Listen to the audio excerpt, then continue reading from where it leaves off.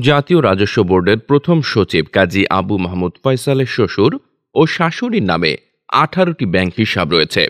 দুর্নীতি দমন কমিশন এসব ব্যাংক হিসাবে প্রায় ১৯ কোটি টাকা জমা হওয়া এবং পরে তার বড় অংশ উত্তোলনের তথ্য পেয়েছে।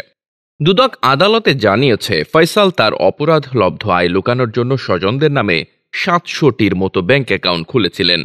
এর মধ্যে দুদক সাতাশিটি ব্যাংক হিসাবে লেনদেনের সুনির্দিষ্ট তথ্য পেয়েছে। আদালতে জমা দেওয়া দুদকের নথি বলছে, ফয়সালের শ্বশুর আহমেদ আলী একজন অবসরপ্রাপ্ত ব্যাংক কর্মকর্তা। তার শাশুড়ি মমতাজ বেগম পেশায় গৃহিণী। দুদক বলছে, ফয়সাল ঘুষ ও দুর্নীতির মাধ্যমে অর্জিত অর্থ নিজের ও স্ত্রীর নামে রাখার পাশাপাশি স্বজনদের নামেও রেখেছেন। শ্বশুর ও শাশুড়ির নামের ব্যাংক হিসাবে যে অর্থ লেনদেন হয়েছে, তা ফয়সালেরই অপরাধ লব্ধ আয়।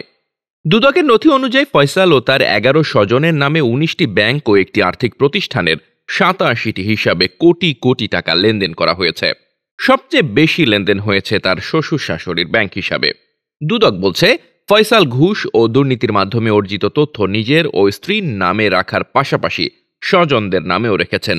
শ্বশুর ও শাশুড়ির নামের ব্যাংক হিসাবে যে অর্থ লেনদেন হয়েছে, তা ফয়সালেরই অপরাধ লব্ধ আয়। ফয়সাল দু হাজার পাঁচ সালে বিসিএস কর ক্যাডারে সহকারী কর কমিশনার হিসেবে যোগ দেন।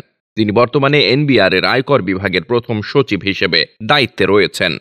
ক্ষমতার অপব্যবহার ও ঘুষ লেনদেনের মাধ্যমে বিপুল সম্পদ অর্জনের অভিযোগের ভিত্তিতে গত বছর দুদক ফয়সালের বিরুদ্ধে অনুসন্ধানের সিদ্ধান্ত নেয়।